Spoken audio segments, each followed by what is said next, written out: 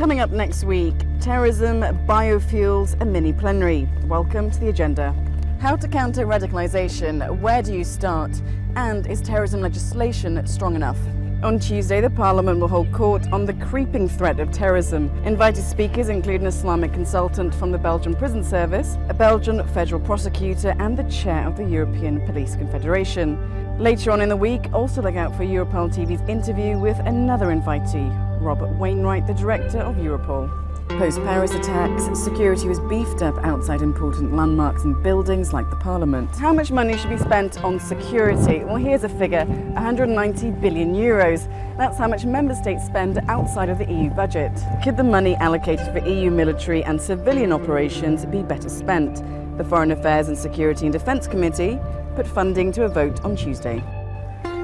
Switching gears and coming across a little bit wacky, it's over to the Environment Committee who'll be making a case for seaweed and waste. They've not lost a plot.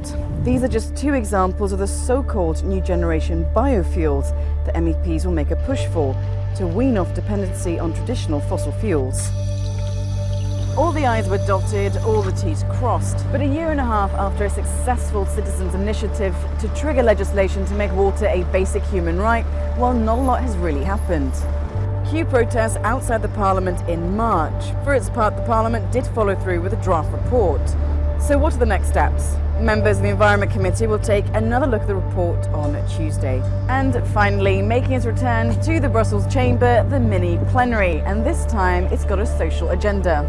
MEPs will discuss the multi-annual financial framework for the years ahead, factory fires in Bangladesh, and mark 100 years since the Armenian genocide. And that's all we have for this agenda. Take care. And enjoy the week.